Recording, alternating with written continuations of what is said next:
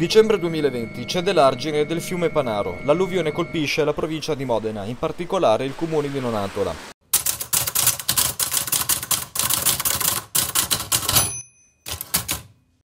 Dicembre 2020, cede l'argine del fiume Panaro. L'alluvione colpisce la provincia di Modena, in particolare il comune di Nonatola.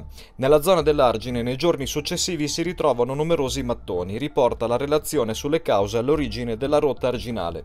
Ma che ci fanno dei mattoni? Secondo la relazione il motivo sarebbe dovuto a una possibile struttura inserita nell'argine o a un riempimento e riparazione, ricorrendo a materiali di demolizione di un fabbricato nella zona.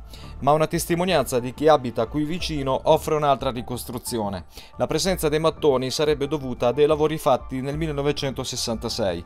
In quell'anno infatti si rompe l'argine che sarebbe poi stato ricostruito con una specie di muro interrato di rinforzo, molto simile a questo. Una volta finiti i lavori, i mattoni avanzati sarebbero poi stati sotterrati lungo l'argine. Da qui il motivo del ritrovamento nella zona interessata dalla rottura del 2020, secondo la testimonianza.